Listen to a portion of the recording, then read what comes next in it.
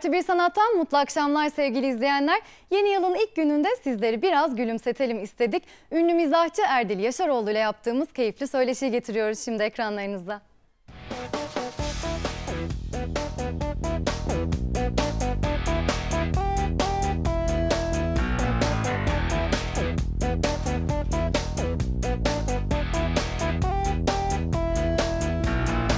E, Bizi düşündüren ve güldüren o güzel karikatürler bu odada mı çıkıyor? Ee, bir, bir kısmı bu adada tabii çi- çizimler, espri bulması falan ama hemen her yerde çalışıyorum. Evde de çalışıyorum. Bazen sıkılıyorum dışarıda bir kafede oturuyorum falan orada da çalışıyorum ama ağırlıklı burası tabii ki. Peki nerelerde daha çok gözlem yapıyorsunuz ve ortaya çıkıyor onlar? Ya öyle bir şey- öyle bir şey yok. Bize hep şey diyor. Hep gözlemliyorsunuz falan. Öyle. düşünüyoruz. Ee, ç- aslında o ne biliyor musun şey? E, böyle hani dur şuradan bir espri bulayım falan diye böyle oturup gözlemleyecek bir durumumuz yoktu. Ama bir şekilde e, hayattaki deformasyonun gibi yani doğduktan beri her şeye zaten o gözle bakıyorsun. Olaya yakından bakıyorsun sürekli. O nasıl olur, bu nasıl olur, bu ne bilmem ne falan diye. Ama bunu böyle hani dur espri bulacağım diye düşünerek yapmıyorsun. O zaten bilinç altında sürekli devam eden bir şey. Yani bir kafede otururken mesela işte yanda iki çift gördüğünüzde falan hemen çıkar mı bir şey ortaya? Ya keşke öyle olsa. Çünkü şöyle bir şey var. Mesela haftada e, 30'a yakın espri buluyorsun. Hemen hemen hepimiz için geçerli. Yarısını köşeye çiziyorsun. Bir kısmını dergi kapağı, işte üçüncü sayfa bilmem ne falan. E, öyle olunca bir kat fazlasını bulman lazım. Çünkü diğer yarısı kötüdür genelde. Elenir. Geri kalanını çizersin. E 30 tane falan her hafta espri bulmak için de oturup çalışman gerekiyor. Hani böyle dur ilham gelsin diye beklersem bayağı bir beklerim öyle söyleyeyim. Yani ayda bir tane, iki tane belki öyle gelir ama yani ayda yüz küsür espri bulmak istiyorsan oturup çalışman gerekiyor. O da masanın başına oturuyorsun, açıyorsun defterini çizerek, kimi zaman okuyarak, bazen televizyona bakıyorsun. Önce ko- konu ararsın böyle, dur ne çizeyim ne çizeyim diye. Sonra onu böyle deşersin, oradan nasıl espri bulurum falan diye. O bir mesai aslında. Yani gün- günde böyle 5-6 saat süren aslında daha fazla sürse daha iyi olur ama 5-6 saat sonunda kafa balon gibi oluyor böyle içi su do- doldurulmuş böyle diye. O yüzden artık çalışamayacak duruma gelince duruyorsun sonra ertesi gün devam ediyor. Peki 12 yaşında ilk karikatürünüzü çizdiğinizi biliyorum. Doğru mu bu? 9 yaşında çizdim. Oo daha da erken. Evet evet 9 yaşında çizdim. Çok net biliyorum çünkü kuzenim Varol e, benden 3 yaş büyüktü. O 12 yaşındaydı. O böyle yeni asıra girmiş. Orada çiziyordu Varol Yaşaroğlu. Orada çiziyordu. O çok dahi falan diye böyle ailede sevilince ben bunu kıskandım. İlk onun bir karikatürünü taklit ederek başladım. Kıskançlıkla başladı. Evet. yani. Harika. E, en azından bir ne, ne olursa olsun başladım ya o önemli. E Sonra dünyanın ama en büyük karikatürüne dönüştü bir anda bu olay. E, e, evet, çizdiniz 30 2012 sene yılında sonra- değil mi? Yaklaşık 30 sene sonra öyle bir şey oldu. E, şey dünyanın en büyük karikatürünü şimdi böyle bakınca komik geliyor ama en azından ileride böyle torunlara, tombalaklara toplayıp anlatacağım bir şey var. Elimde güzel bir anı oldu yani. Hakikaten büyüktü çünkü. 11 bin küsür metrekare on- on- yani 12 dönüme yakın ve 12 dönüm demek ne çizdiğini göremeyeceğim bir alan demek yani. Çünkü ufuk çizgisi bile böyle eğilmeye başlıyor karikatürün sonunda. Böyle bir sinir bozucu bir durum var. İki buçuk futbol sahası büyüklüğünde. E tabii ki tek başıma çizmedim onu. Yani bütün çalışmaları falan yaklaşık 70 kişiye yakın bir ekip birlikte yaptık. Anca bitti. Çünkü Guinness'e girmesi gerekiyordu. O gün onay alınması gerekiyordu. Bir günde çizilmesi lazımdı. Böyle bir buçuk ay çalıştık. Bir günde çizdik. Guinness'e girdik. Aldık sertifikayı. Neydi işte kitaba girdik. Tebrikler dediler. Sonra rahatladık. Ben tek başıma yapıyoruz ama hala yapıyordum öyle söyleyeyim. Şimdi çok kolay gibi anlatıyorsunuz ama yani Yok çok önce kolay değildi. Baya baya bir şey. Ya çünkü şöyle bir şey var. Yani bir sürü zaten kriter var. O o boyutta bir karikatür çizmek için eee istediğin her şeyi çizemiyorsun teknik olarak. çünkü şey ebatlar çok büyüyünce dağılıyor çizgi ve böyle daha basit bir şey çizmen lazım. Eee, yapacağın şey bütün dünyada hemen hemen her yerde haber oldu. Yani dü- dünya üzerindeki bütün kanallarda haber oldu gibi bir şey. Ee, öyle olacağı için bunu da biliyorsun zaten. Yani etkili bir şey olacak. Çünkü dünyanın aslında en büyük karikatür dediği dünya üzerine çizilmiş en büyük çizgi. Yani insan tarafından yapılmış en büyük şeydi o zaman. Sonradan yapmış olabilirler. O yüzden emin değilim. Takip etmedim. Ee, öyle olunca e, her yere haber olacak. Her, yere haber olacağını bildiğimiz için de şey dedik. Ee, herkesin anlayı yani Güney Kore'den Avustralya'ya işte bilmem işte Güney Afrika'dan Amerika'ya kadar herkesin anlayacağı bir ortak bir dilde bir espri olması lazım. Bu da bir kriter falan. Bir de çizerken şöyle bir şey yani Çizginin kalınlığı şöyle. Bu boyda bir şey böyle gidiyor. Böyle gidiyor bir çizgi. Ulan burası neresiydi? Çocuğun kafası mı, kıçı mı, başı mı ne? Hiçbir şey belli değil. Oraya bir çizgi gidiyor falan. Hatta ilk e, böyle helikopter falan getirmişlerdi de böyle sponsorumuz. Bir meşhur bir marka söyleyemiyoruz değil mi? Cep telefonu markası. Ondan sonra ben böyle güldüm. Ha, bu ne ya telefon şey helikopter amma abarttınız falan diye böyle dalga geçiyordum bunlarla. Ha, ha dediler bana.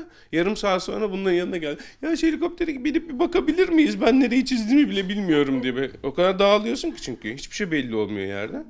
Böyle çıkıp çıkıp bakıyorduk yukarıda. Aa şurayı unutmuşuz. Burası boş kalmış. Şuraya bir şey daha çizelim diye. Bir de şöyle güzel bir şey oldu. O karikatürün etrafını ağaçlarla boyadık. Ee, yani şu, şu demek yaklaşık 15 bin tane falan fidan diktik. Orası böyle orman olacak. İşte yavaş yavaş büyüyorlar ve hemen hemen hepsi de tuttu ilginç bir şekilde ki ağaç tutturmak da kolay bir şey değil bir yandan. O güzel böyle yani o böyle herkesin kazandığı nefis bir proje oldu.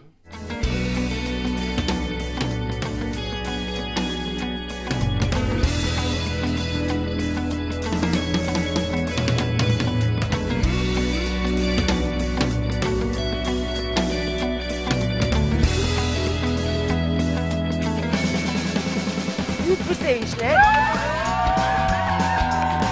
sizleri Guinness World Records ailesine hoş geldiniz. Erdil Bey, Cenk Bey, rekor sizin.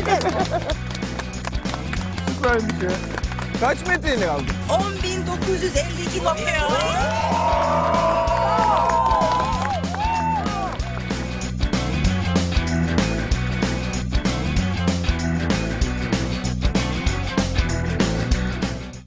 Türkiye'de biliyorsunuz durumlar biraz sıkıntılı. Penguen nasıl gidiyor? Ee, Korkusuzca hani bir şeyleri söylüyorsunuz ya böyle. E söylüyoruz biz kurulduğumuz günden itibaren hatta yani ben karikatür çizdiğim günden itibaren yani böyle hiç sıkıntısız hemen her şeyi söylemek için elimizden geleni yaptık. Yani böyle bir ortam sağlamaya çalıştık. Kendimizce de e, kendi doğru bildiklerimizi söylüyoruz. Gayet iyi Baskı gidiyor. hissettiniz mi üzerinizde? Vallahi çok açık konuşmak gerekirse ilk e, bir me- meşhur e, davalar vardı. Onlardan sonra hiçbir şey olmadı. Yani bir herhangi bir yani hiçbir yani arada tabii şöyle şeyler oluyor. Tehditler geliyor işte saldırılar oluyor dergiye. Geçen senelerde oldu işte bir böyle bir yakmaya çalıştılar Yangın. falan filan. Evet aynen öyle. O planlı yapılmış bir şeydi falan ama e, onun dışında böyle telefonla tehditler geliyor, mail yoluyla, oyla buyla E, adamlar gelip böyle kapıya gelip tehdit ediyorlar falan. Öyle şeyler Kapıya kadar. Ama yani bunlar senin sorduğun tabii ki hani politikacılardan veya şeyden, hükümetten oradan buradan bir şey henüz gelmedi. Ama uya- uyandı- uyandırma. Şimdilik iyi gidiyor. Bir sorunumuz yok. E, söylemek istediğimizi söylüyoruz. Unuttular galiba veya bilmiyorum. İnşallah bir şimdilik iyi gidiyoruz. Bir derdimiz yok. Peki yeni bir kitap çıkarttınız ondan da bahsedelim isterseniz. Evet. Ya bu şey Komikaze serisinin 17.si. Son kitap. Şişko diye çıkarttım bunu da böyle eğlenceli şu. Ya evde bir tane şişkom var da. Hayvanlarla zaten e, ilginizi ve iletişiminizi biliyoruz. Evet. Bunun aynısının grisi var böyle. Yani yemek yemeye yuvarlanarak gidiyor böyle lumbur lumbur lumbur diye. O yüzden öyle bir şey yaptım. Ee, 17. kitap. Güzel eğleniyorum. Ondan sonra madem reklam yapıyoruz hemen devam edelim. Penguin'in klasik karikatür yıllığının sonuncusu çıktı 2013. Burada bütün senenin almanağı aslında bu yani karikatür almanağı. Bunu aynı zamanda dergi formatında da çıkarttık. Bayağı şey gibi oldu. Satış kanalı gibi oldu. Bak. Aynı zamanda dergi formatında da çıkarttık. İster bunu ister bunu alabiliyorsunuz.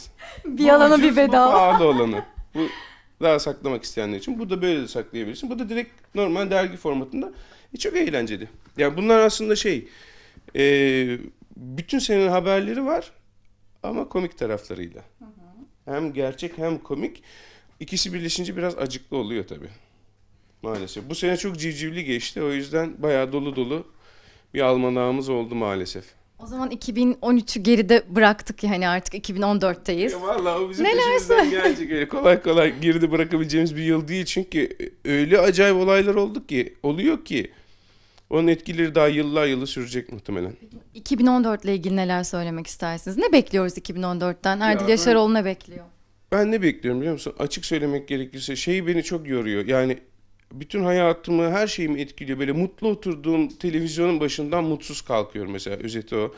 Veya işte şeyi seviyorum, farkında olmayı seviyorum ama bu farkındalık kahrediyor adamı. Yani öyle bir ülkede yaşıyoruz ki keşke hiçbir şeyin farkında olmasam, mutlu mesut yaşasam diyeceğim bir ülkede yaşıyoruz. Bir an böyle hani ulan Norveç'te olsam nasıl olurdu diye. Ama sonra vatanımı hani burayı çok seviyorum, ülkemi çok seviyorum bir yandan. Tamam e, dertliyiz E, ama bütün, bütün, bütün bunları geçeceğiz bir şekilde.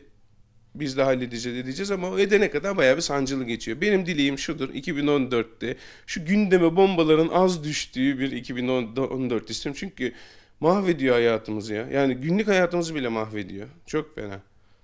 Çok teşekkür ederim. Yani her günü her günü sezon finali gibi yaşamak çok yorucu. Onu demeye çalışıyorum.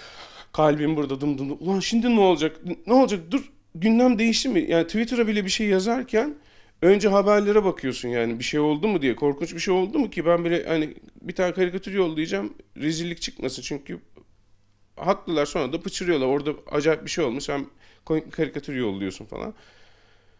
Yani dünyada başka bir ülke yoktur herhalde böyle. Twitter'a bir şey yollamadan evvel gündemi takip etmek zorunda kalan bir ülke var mıdır? Biz varız. e bu da bizim özelliğimiz olsun.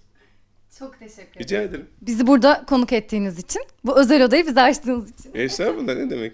Çok özel değil ya. Herkes gelip gidiyor yani buraya. Eğlenceli. Ama geldiğinizde ben de mutlu oldum. Çok sağ olun. Sağ ol. Yazar İnan Çetin son kitabı Uzun Bir Ömür için Uzun Bir Elbiseyi artı bir sanatı anlattı. Uzun bir ömür için uzun bir elbise e, kitabın ismi. Dilerseniz önce ismiyle başlayalım. Çünkü ilginç de bir isim, uzun da bir isim. Evet. Bir Yahudi deyimi, e, Yahudilerde bebek doğarken ona çok uzun bir elbise yaptırırlarmış. Uzun bir ömür ve mutlu bir hayat yaşasın diye. E, benim de kitabın ana karakteri bir Yahudi olduğu için bu ismi seçtim. Zaten kitapta da geçen bir diyalogda geçiyor. O nedenle bu ismi koydum. Müzisyen bir Türk genciyle e, Musevi bir Evet bir e, Kadın kadının var. aşkı. Bu 1940'larda geçiyor. 1940'lar varlık vergisi döneminde. E, babası Aşkale'ye gönderilen bir e, kız babası ölünce üzüntüden felç oluyor ve daha önce aşk yaşadıkları müzisyenle sonraki hayatları anlatılıyor. Aslında hem bireylerin hayatı hem o dönemdeki toplumsal hayatın iç içe geçtiği bir roman. Neden böyle bir konu seçtiniz peki? Bu e, bir arkadaşımdan dinlediğim hikayeden yola çıkarak yaptığım bir Musevi arkadaşım vardı. O dönemde bana e, benzer bir hikaye anlatmıştı. Çünkü Aşkale'de e, biliyorsunuz oraya gönderilen, gönderilen birçok kişiden bazıları soğuktan, zatürreden, şuradan hastalıktan falan ölüyor. E, arkadaşım da bana benzer bir hikaye anlatmıştı ve o dönemdeki o toplumsal atmosferi bireylerin üst- üstündeki etkisi o yaşam dayanık e, dayanıklarının kırılması üstüne çok güzel bir hikaye anlatmıştı. Çok acı ama bir bakımdan da güzel tabi romancı olarak baktığım zaman güzel diyorum buna. Çok acı bir hikaye anlatmıştı ve ben o hikayeden yola çıkarak böyle bir şey kurdum. Çünkü o dönemi de merak ettim. O dönemi okurken bu hikaye aklıma geldi ve bunu yazdım. Neler kattınız peki bir yazar olarak kendinizden bu kitaba? Karakterlere. Evet, karakterlerle çok benzerliğim yok. Zaten kitapta yazarın yazarın ayrı bir e, pozisyonu var. Çünkü e, giriş bölümünde ve diğer bölümlerde kısa kısa paragraflarla neler yaptığını, nasıl böyle bir hayatı yazdığını anlatıyor. O nedenle e, karakterlerle çok benzerliğim yok ama hani daha çok sevdiğim karakterler var orada. Örneğin Lina'nın güçlü kişiliğini seviyorum. Ayla'nın güçlü kişiliğini seviyorum. Fuat'ın ise kendisiyle savaşını seviyorum. Yani kendisiyle hesaplaşmasını çok sevdim. Böyle sevdiğim karakterler var işlerinde. Ee, Peki Kültür Bakanlığı'nın geçtiğimiz günlerde e, yazarlara desteğin olacağını açıklandı. E, Neler söyleyeceksiniz bununla ilgili? Şimdi evet bu bence e, doğru bir proje. Çünkü bu Avrupa'nın pek çok ülkesinde bildiğim kadarıyla uygulanıyor. Daha önceden var. Çünkü Eğer e, Türk edebiyatına katkıda bulunabilecek yazarlar ve eserler üzerinden e, bir yol alınabilirse bu hiç olmazsa in- e, okuyucunun e, ne kadar okuyucu varsa Türkiye'de edebiyat okurundan söz ediyorum. E, biraz böyle inci düşünmesini, inci bir insan olmasını sağlayacaktır. Çünkü edebiyat buna hizmet eden bir e, dal. E, ve Türk edebiyatının dünya edebiyatı ölçeğinde daha gelişmiş bir edebiyat, daha sözü geçen ve bunun yanında tabii bu dille ilgili bir şey olduğu için de Türkçenin daha çok dolaşıma girmesi anlamına gelir. O nedenle Kültür Bakanlığı eğer bu projeyi tarafsız ve doğru yürütürse e, bence güzel bir proje. Artı bir sanatın bugünlük de sonuna geldik. İyi seneler, mutlu akşamlar.